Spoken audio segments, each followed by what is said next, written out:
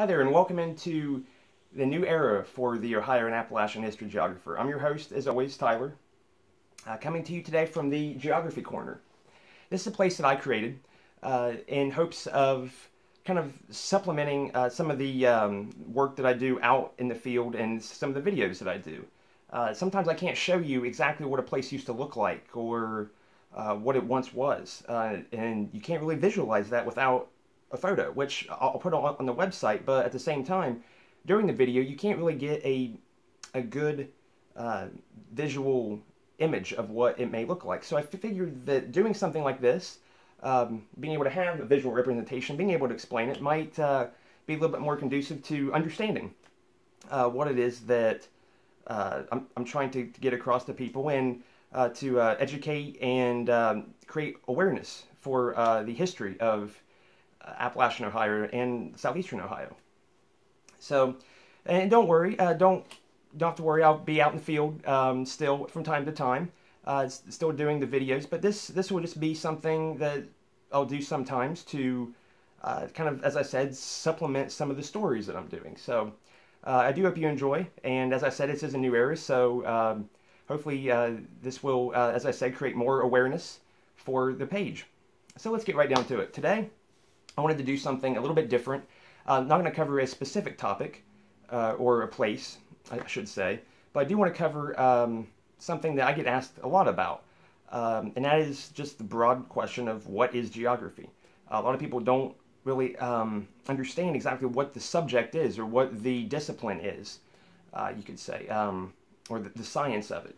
So I wanted to uh, kind of show you and explain to you what exactly it is and uh, kind of give you a better understanding of where I come from too as being a, uh, a human geographer. Um, so let's, let's get right down to it.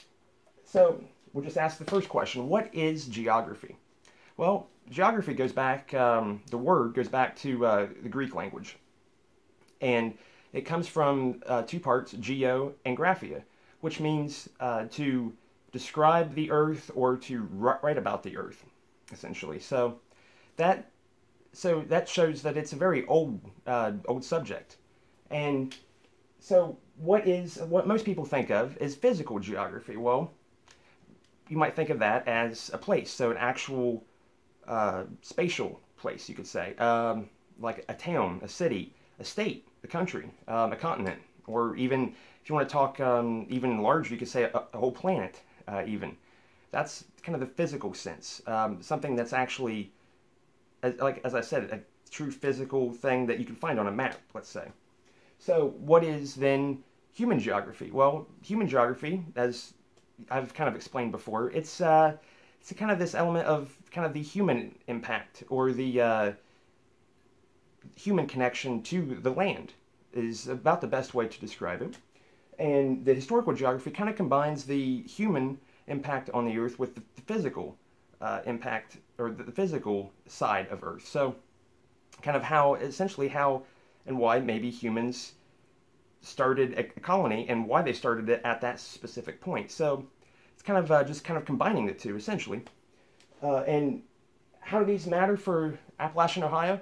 Well, I guess you could say that they they really it goes hand in hand because, as we've seen, uh, coal mining, clay mining, uh, you know, it it directly affects things that happen, as I talked about in the geology video, things that happened millions and millions of years ago, and it's affecting our life and economy today or in recent times. So uh, it really is kind of a balancing act, and um, kind of to explain the broader picture of history as a whole geography can help put the pieces together, let's say.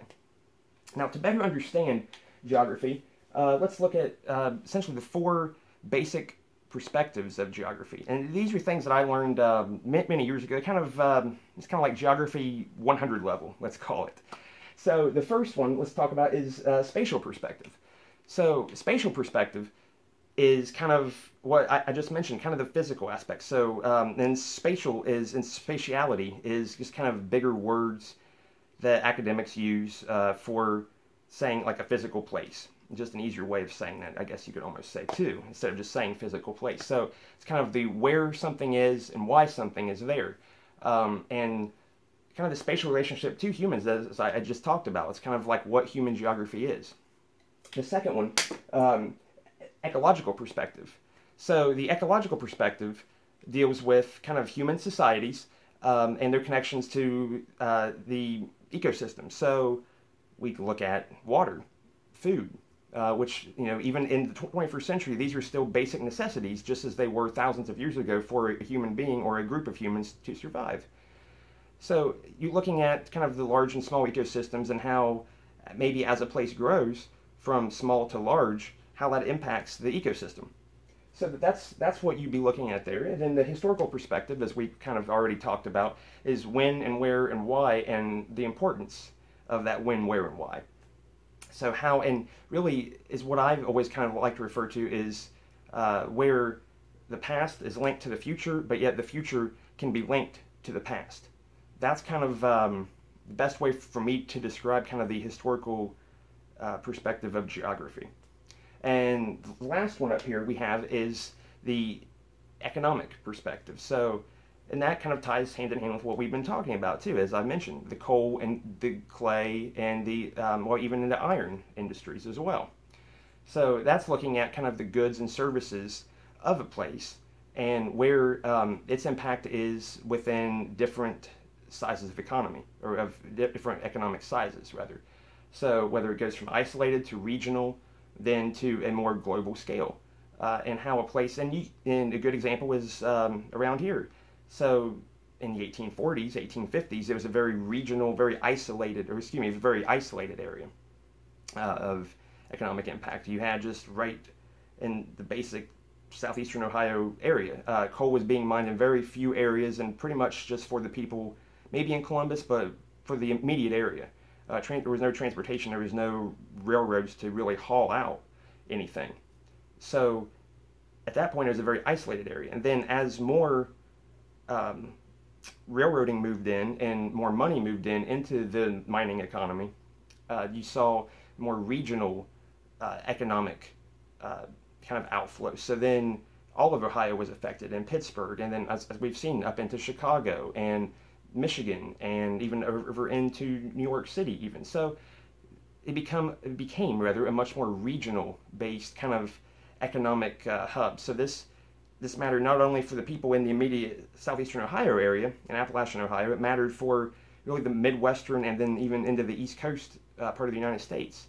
And then the global perspective, um, if uh, you read the Jeffrey Manufacturing Company's um, article I did a while back, that was based in Columbus, they actually had um, holdings and owned companies, uh, owned mine manufacturing companies in uh, in Europe. So it became a more global scale of, of economy. So over time, uh, this place grew from very isolated to very broad global uh, economic impact. So these are the things that uh, kind of make geography what they are. And kind of and again kind of hope I hope shows you how kind of complex and uh, how deep geography is. It's not just the names of places. It is kind of understanding humans, the ecological side of it, the physical side of it, of the terrain, as well as the economic and the monetary side of it. So it's a very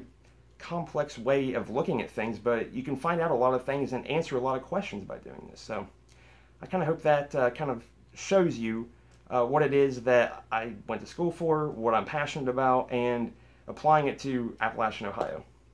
So in closing, I do want to point out uh, that if you haven't heard, if you haven't seen on my site, I uh, now have a YouTube channel that you can go and search, and it's the Ohio and Appalachian History Geographer. You can go on there and subscribe for free. It doesn't cost anything. Uh, there'll be content uploaded uh, just like this video and uh, all the old videos that I've done before I had the YouTube channel will be put up on there and already have been. Uh, but I also have Instagram, which is my private Instagram account and, and personal account, but at the same time, I do use it um, kind of as a cross between personal and kind of what I do here um, with the Ohio and Appalachian History Geographer. So you can go on there and kind of see some um, some interesting things. I will post some things while I'm out and about, it's kind of behind the scenes look at some, some stuff I've done. So, uh, and then Facebook, as um, as you obviously know, because you're probably watching this on Facebook, because that's the most popular thing I have going right now is the Facebook page. So you can always go on there as well. So I um, hope you enjoyed this. This is hopefully just the first of many videos at this site. So uh, I hope, as I said, I hope you enjoyed it. I hope you found it informative, and I'll see you up around the bend. Thanks.